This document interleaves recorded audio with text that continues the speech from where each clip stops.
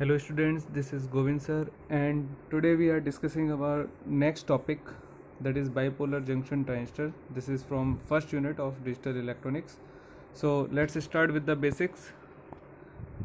Then what is bipolar junction transistor? The transistor is a three layer semiconductor device consisting of either two N and 1P type layers or 2P and 1 N type layers of material. So the former is called NPN and the while the later is called PNP transistor. So here is there are two type of BJT. First one is PNP transistor and second one is NPN transistor. Okay.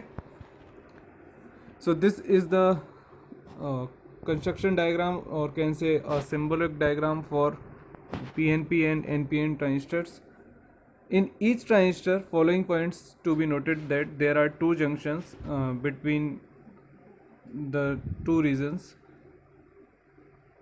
so transistor can be considered as two diodes connected back to back. Transistor can be considered as two diode connected back to back. And there are three terminals in the middle section. This is thin layer then the others. So here we have three type of terminals first one is emitter base and collector. Naming of the transistor's terminals. Transistor has three section of doped semiconductor. The sem the section one is called emitter and another one is this is emitter and another one is base and third one is collector clear? So there are three terminals in transistor and it looks like in a physical or practical way like this. The first one is emitter the section of one side that supplies carriers is called emitter okay. And the emitter is always forward biased with respect to base so it can supply carriers for npn emitter supply holes to junction and for PNPN emitter supply electrons to the to its junction. And another next one is carry uh, collector. The section on the other side that collects the carrier is called collector. The collector is always reverse biased with respect to base. For npn collector reverse receives holes to the to its junction and for pnpn for pnp transistor collector receives electrons to its junction. And the middle section that is base which forms two p-n junction between emitter and collector is called base. Now move to the transistor operation how a transistor will work.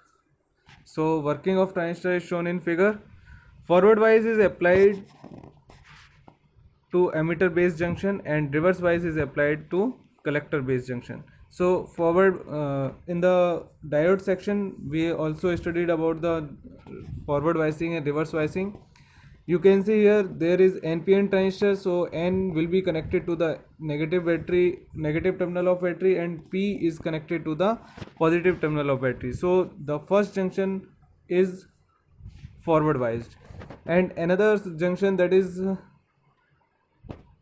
collector base junction uh, here is n is connected to the positive terminal of battery and p is connected to the negative terminal of battery. So the base uh, collector base junction is in reverse bias.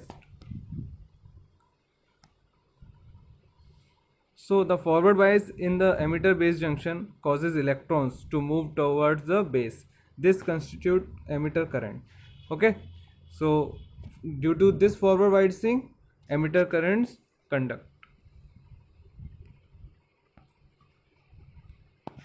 As these electrons flow toward p-type base, they try to recombine with holes. As base is lightly doped, only few electrons recombine with holes within the base. These recombined holes constitute small base current and the remainder electrons crosses base and constitute collector current. So basic what happened? Only few of electrons recombined in the base section and the most of the remaining electrons crosses base the uh, and constitute the collector current.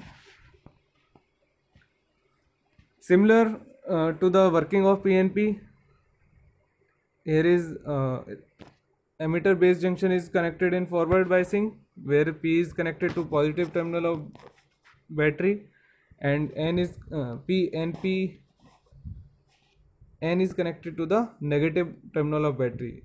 In the first first, uh, first junction there is a forward biasing and, and in the second junction there is a negative biasing so the forward bias in the emitter base junction causes holes to move towards the base.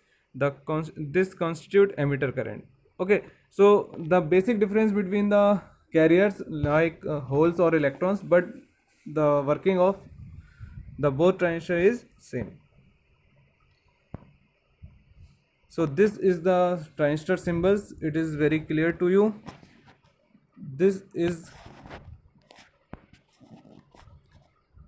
npn transistor this is npn transistor and in this n is connected to the negative terminal of battery and this p is connected to the positive terminal of battery. And another junction it is in reverse bias and n is connected to positive battery and p is connected to the negative terminal of battery. So in this uh, you can see a symbol diagram of uh, npn and pnp transistors there is a difference of flow of current. In npn in npn the flow of current is from base to emitter. It is indicated from base to emitter. And in the PNP transistor there is a movement of there is a flow of current from emitter to base because in PNPN uh, holes are generated at the emitter and the current direction is same as the holes. So it is in same direction. But in the NPN transistor uh, at emitter electrons move to the towards the base junction. That's why the flow of current is opposite to the mo movement of electrons. Clear? So we have uh, some trans transistor operating mode first one is active mode second one is saturation mode and cutoff mode. So mode are the operation operating operations of uh, transistor in which we can use the transistor. So what is active mode? Active mode means when base emitter current is base emitter junction is forward biased and base collector junction is reverse biased it means first junction is forward biased and second junction is reverse biased then it will act in active mode. And in the saturation mode we have base emitter junction is forward bias and the base collector junction is forward bias forward bias is mean it means both junctions are in forward biasing.